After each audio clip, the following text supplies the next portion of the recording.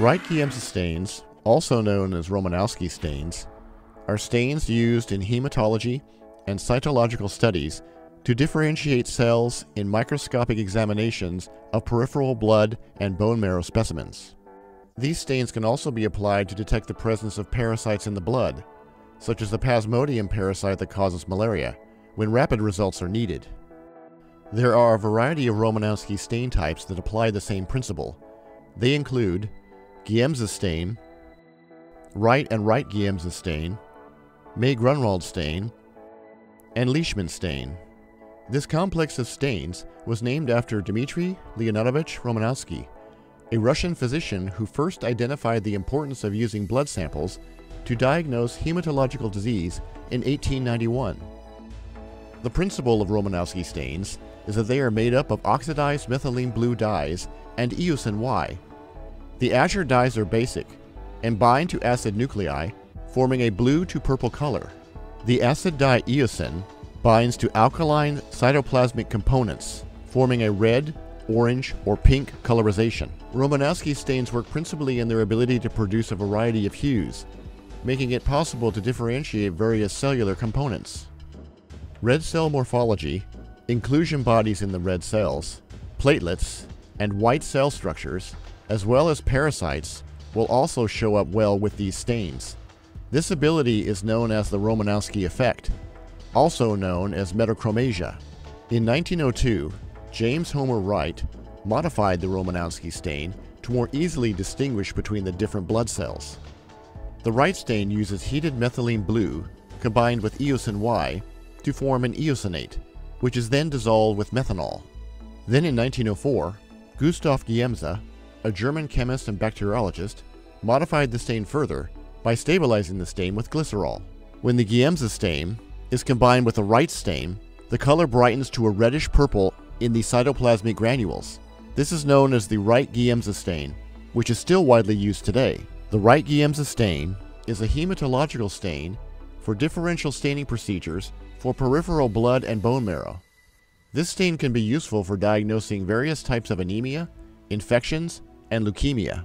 It is also useful when rapid results are needed in the detection of blood parasites, such as the malaria-causing Plasmodium species or trypanosomes. Make blood smears immediately if no anticoagulant is employed, such as with blood obtained from a finger stick. Should an anticoagulant be used, EDTA is recommended. The purple top blood collection tube contains the EDTA anticoagulant. Blood cells that are hemolyzed due to excessive age, freezing, or heat should not be used. The basic blood slide preparation method is as follows. Obtain two slides. It is imperative that all slides used for staining be completely clean and free from all oils, lint, and dust. To label the slide, use a chemical resistant marker that will not run or fade when the slide is stained. Center a small drop of blood on a pre-cleaned, labeled slide near its frosted end using a capillary tube or diff-safe blood dispenser. You can also use a drop of blood from the purple stopper of the blood drawing tube. To do this, invert the tube once, then remove the stopper and tap it to the slide. Note, use a small drop of blood in order to create a thin smear. Bring another clean spreader slide in at a 30 to 45 degree angle up to the drop until it touches the edge. Allow the drop to spread along the contact line of the spreader slide by capillary action.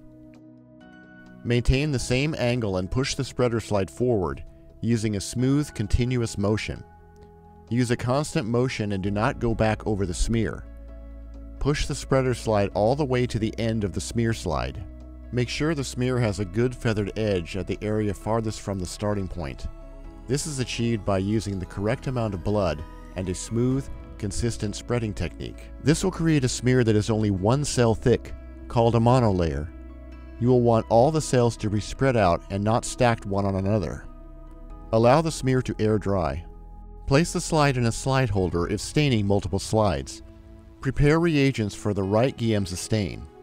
Prepare reagents and perform the stain procedure in a fume hood or well-ventilated area, and keep containers covered to reduce the impact of fumes and evaporation in the work environment. Fill a container with methanol for the fixation step.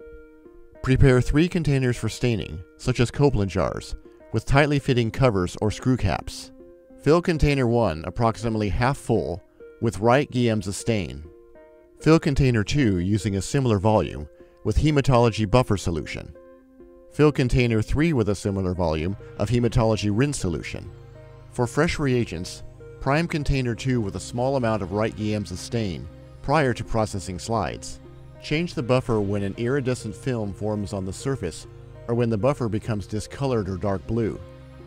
Change the rinse solution when it discolors to a medium blue.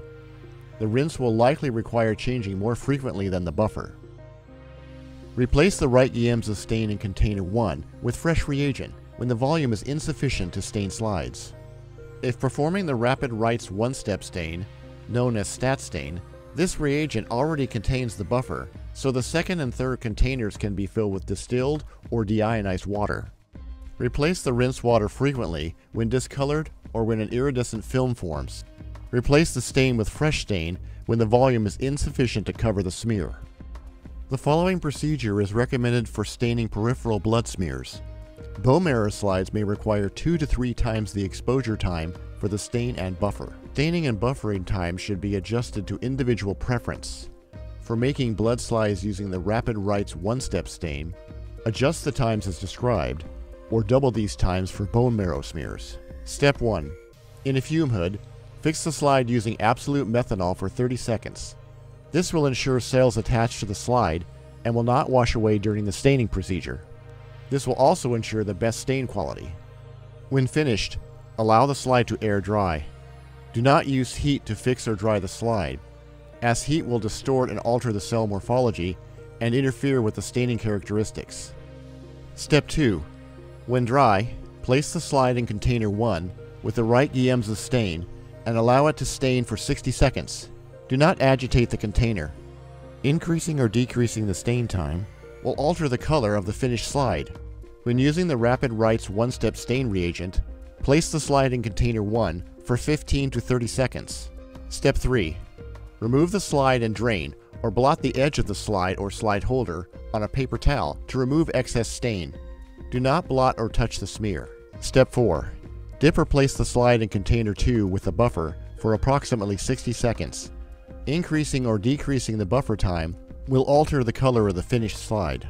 When using the Rapid Wright's one-step stain reagent, place the slide in container 2 for 15 to 45 seconds. Step 5. Remove the slide from container number 2 and drain or blot the edge of the slide or slide holder with a paper towel to remove excess buffer. Do not blot or touch the smear. Step 6. Dip the slide in container number 3 with the rinse solution for 2 to 10 seconds. When using the Rapid Wright's one-step stain reagent, dip the slide repeatedly using quick dips into container 3 for 25 seconds. Alternatively, the slide can be swirled in container 3 for 25 seconds. Note that excessive buffering and rinsing will fade and decolorize the stain. Step 7. Dry the slide in a vertical position in a slide rack or on an absorbent surface, such as a paper towel. Do not blot or touch the smear. Step 8. The slide is now ready for examination under the microscope. Place the slide on the microscope stage and focus using the high dry 40 power lens. Switch the lens to the side, then place a drop of immersion oil on the slide and switch lenses to the oil immersion 100 power lens. This will result in a magnification of 1000 power. Use the following table as a guide. Note, the overall color of the red blood cells is a benchmark to stain quality and can be used as a guide when determining the need for adjustments to staining and buffering times for desired results. Hardy Diagnostics offers the Wright Giemsa stain kit and the Stat Stain kit in the 16 ounce bottle size. Large volume bottle kits are also available on the Hardy Diagnostics website. These kits produce superior stain results with bright vivid colors. Methanol, Coplin jars, premium slides with or without frosted edges, slide boxes, as well as other laboratory supplies are also available. Subscribe to our YouTube channel for more tutorials and product videos. Remember to turn on the notifications to be notified of new videos as they are released. Hardy Diagnostics is 100% employee owned and has been serving microbiologists for over 40 years. To learn more about Hardy Diagnostics and the products we offer, visit us at hardydiagnostics.com